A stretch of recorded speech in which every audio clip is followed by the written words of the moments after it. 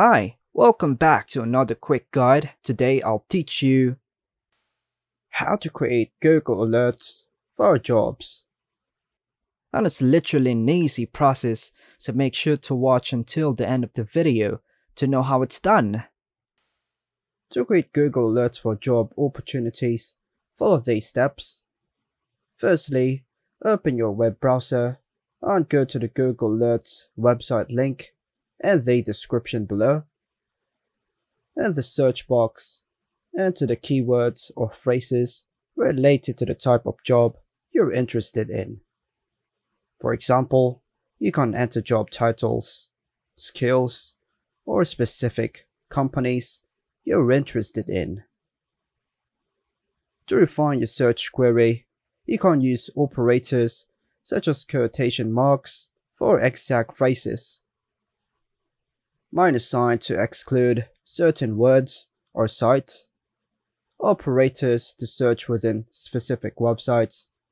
For example, or for me, since I edit pictures, I'm fusing art on it, I choose graphic artist. Click on the show options link to access additional settings for your alert. And here you can customize settings such as how often, choose how often you want to receive alerts, sources, choose where Google search for your alerts, language, region, and how many. Choose the language region and how many results you want to receive.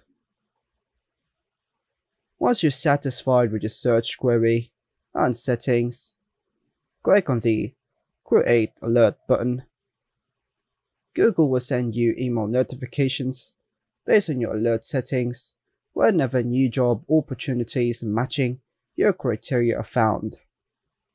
By setting up Google Alerts for job opportunities, you can stay informed about the latest job listings that match your interest and preferences. And that's all for now folks.